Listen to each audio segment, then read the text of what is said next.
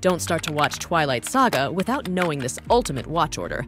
Let's begin with the release order. First up, start with Twilight, a movie that released in 2008 and has a 5.2 IMDb rating.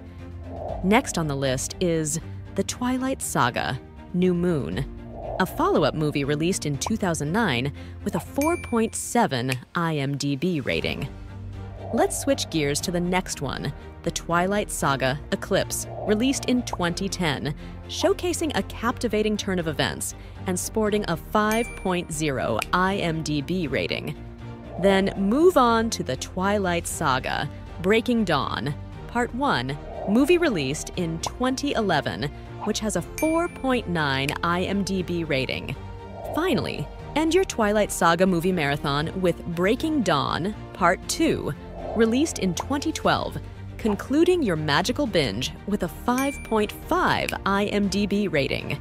In this rare case, the Twilight Saga release order aligns perfectly with the chronological order. There you have it, the correct release and chronological orders for Twilight Saga movie series. Subscribe to us for more watch orders.